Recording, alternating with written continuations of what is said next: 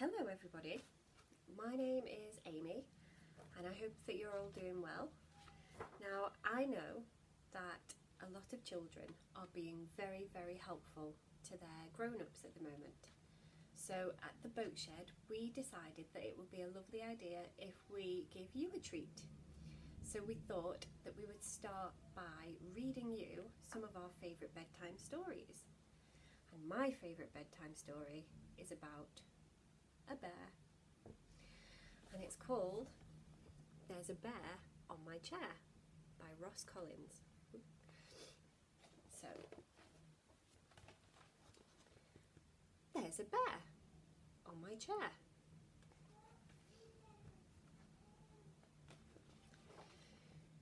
He is so big, it's hard to share. There isn't any room to spare. We do not make a happy pair. A mouse and a bear with just one chair. When I give him a nasty glare, he seems completely unaware. I don't know what he's doing there, that bear who's sitting on my chair. I must admit, he has some flair. He has fine taste in leisure wear. I'm fond of how he does his hair, but still, I wish he was not there. I'll try to tempt him with a pear to lure him from my favourite chair. But he just leaves it sitting there. Why won't he go back to his lair? Perhaps if I give him a scare, I'll jump out in my underwear. But no, of course, he does not care. That stinky bear sat on my chair. I understand that bears are rare. I know they need the utmost care. I know all that. I am aware. But still, I cannot stand this bear.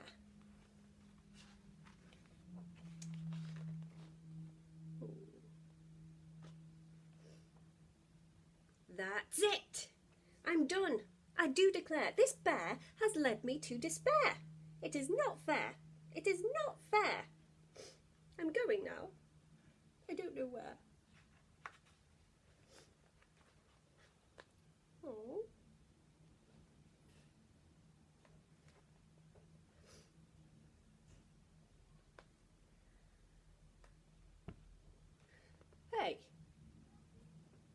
There's a mouse in my house.